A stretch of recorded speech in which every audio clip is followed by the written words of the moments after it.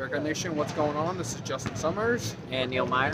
This is the front office news giving you your daily recap of the Cincinnati Bearcats men's basketball game as they win 77 to 50 over Florida A&M.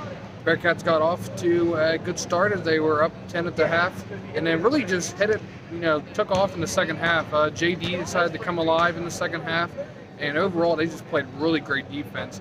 They held Florida A&M to a 30% clip from the whole game, and overall won the rebounding battle and really hit the inside game today. I think that really helped them take off in this game. Neil, what did you see today?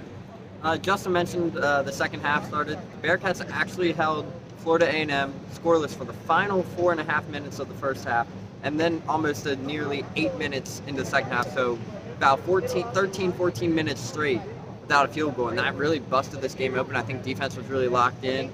Uh, the Bearcats out rebounded 48 to 33, which was a, va- a vastly big improvement from this weekend. And outside, I saw the glasses being uh, protected, a lot of rebounds tonight.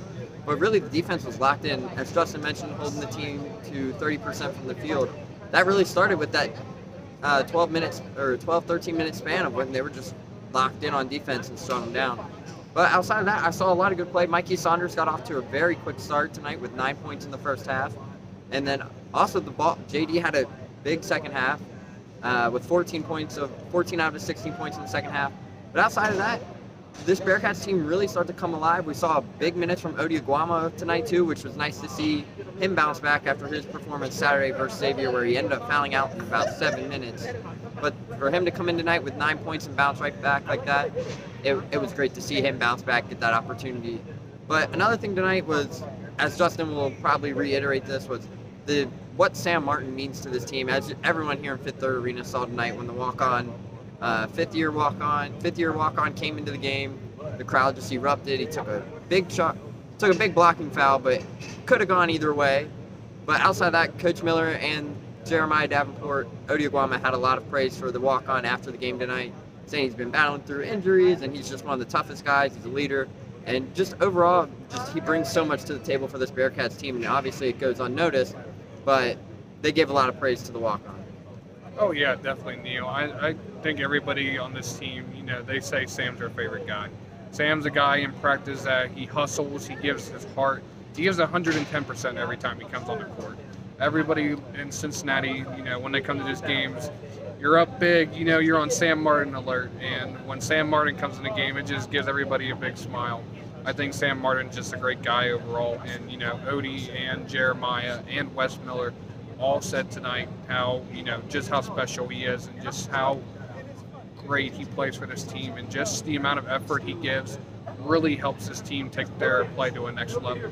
As Justin mentioned too, as well, is once Ody and Jeremiah were addressed with uh, Sam Martin's play in the final three minutes of this game, uh, Ody actually grabbed the microphone and screamed "Sam" for Sam's nickname, and you could just see the energy and how excited they, they were for uh, Sam. So it was great to see that too.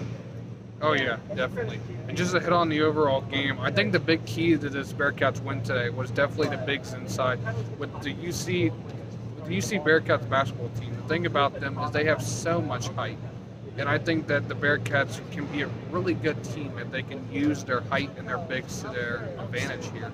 You know, you got Hayden Koval, uh, Abdul Ado, even Jeremiah. I mean, they talked about moving Jeremiah. I mean, right now he's rocking a four, but I mean, he can play three, a five. He said he doesn't really care about where he plays overall. It just he wants to be on the court, and that's how all these guys are. They they understand that that you know sometimes they're not going to be on the court a lot. I think that's really what helps his team overall.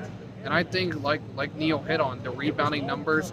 Wes Miller actually has not been happy recently with the rebounding numbers. And as everybody saw, you know, on Saturday, in the last couple of weeks, they were beat. They were beat on the boards. They were beat on the inside game and that's what ended up, you know, losing some of these games, you know, down the stretch lately.